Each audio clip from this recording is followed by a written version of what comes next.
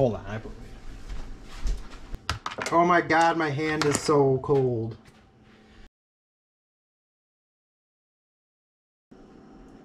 Alright, we're gonna cook up some of the schmelt I got from the other day. Um, back at home now. So the first thing you need to do is take some oil. Grab this oil here.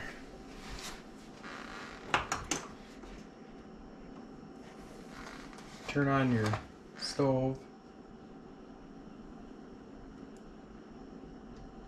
And just fill the bottom of the pan with oil. Let that heat up.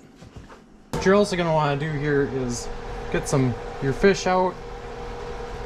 You know, just pat them dry, make sure they're nice and dry. I always sprinkle a little pepper on there. A little bit of seasoning salt right onto the fish. We'll set those aside. Now, in your bowl, you want one cup of flour.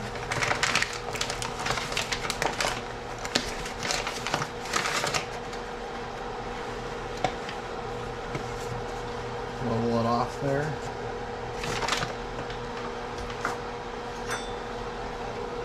Half a teaspoon of black pepper.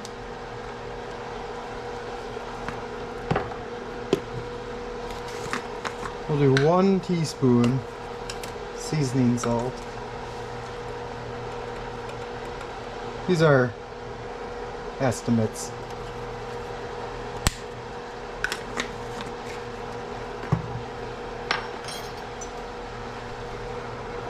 Tablespoon garlic powder.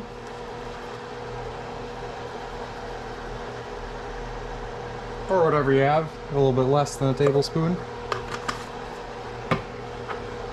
And a tablespoon of paprika.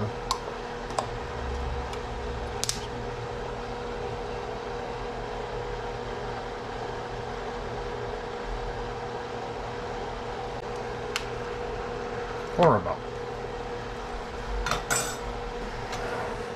Also wanna we'll mix up our egg here at the same time about. Crack an egg in a separate bowl. Now we'll mix up our ingredients first.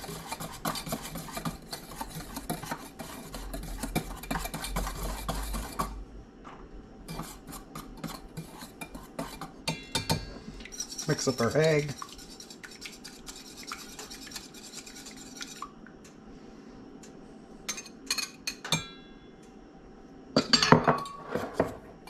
You want this to clump up with the egg and mix it up as good as possible in here.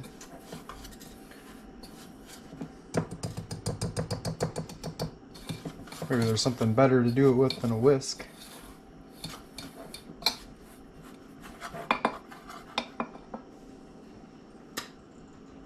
And is actually hot. We're going to take it off the heat.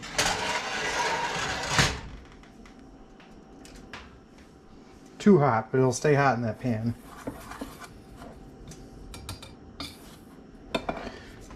So now we gotta get our beer here.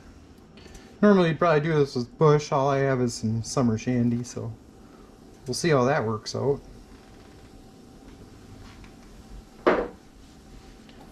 Mix the that into the batter. Nice dark color here.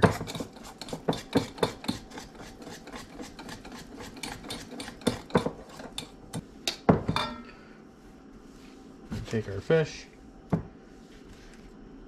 them right into the batter.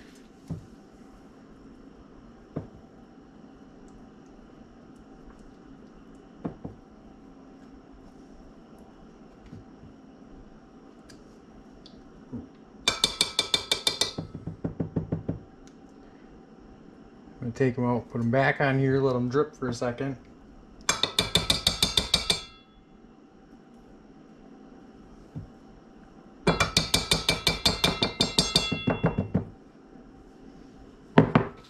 Now you can use more beer to make your batter a little thinner. Okay, put them directly in there. Cook them on each side for about a minute or so.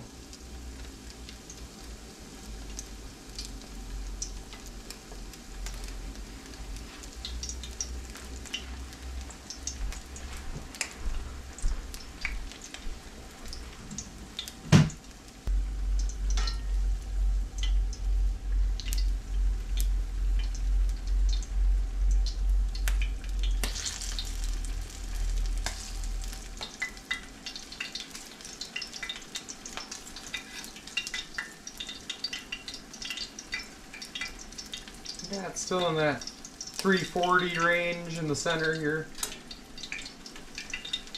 About 350 is what you want.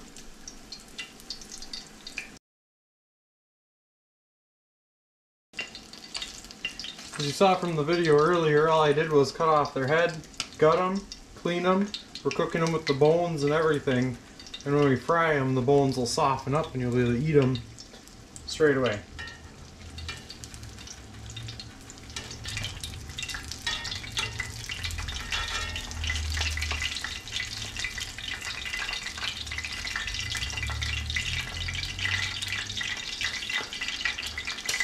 There you go. That's all there is to it.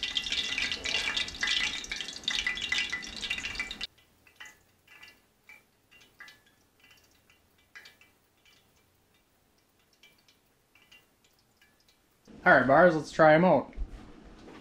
Okay. Grab one, they might be a little hot. Alright, try it. What do you think of it? It's really good. Good. Alright. Very hot though. Ooh. It is hot. This is really good.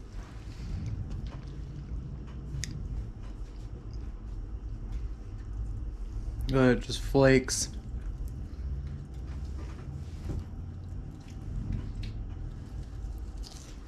Oh. This is some good smelt. Was kind of darky, wasn't it?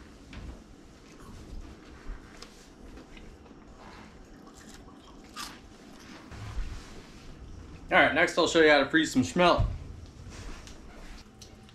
Oh my god, my hand is so cold.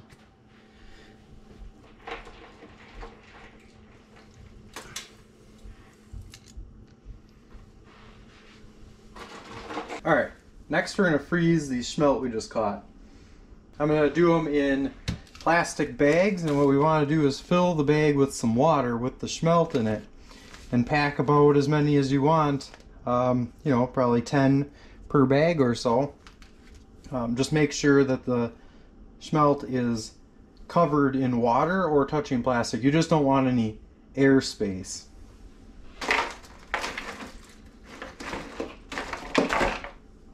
So as you can see here, what I'm going to do is about 9, 10 smelt per bag. We're to take the bag, just put them in there.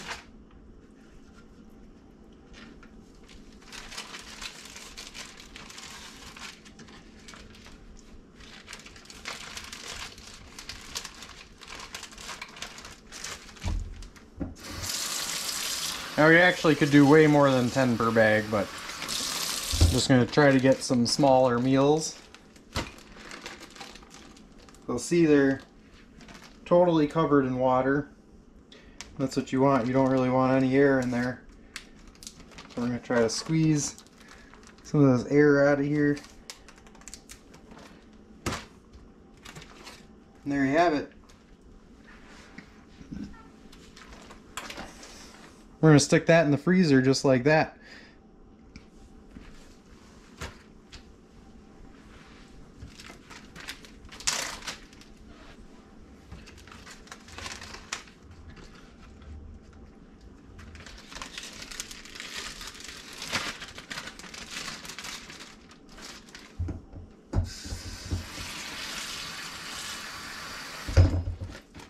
I'm just doing 10 per bag. You could do as many as you wanted.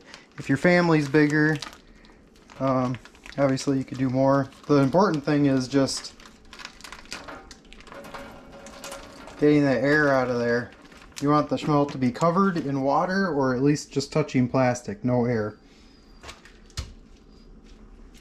So then we're going to freeze those and what you would do is thaw these out uh, before using them. It shouldn't take all that long, maybe overnight in the refrigerator.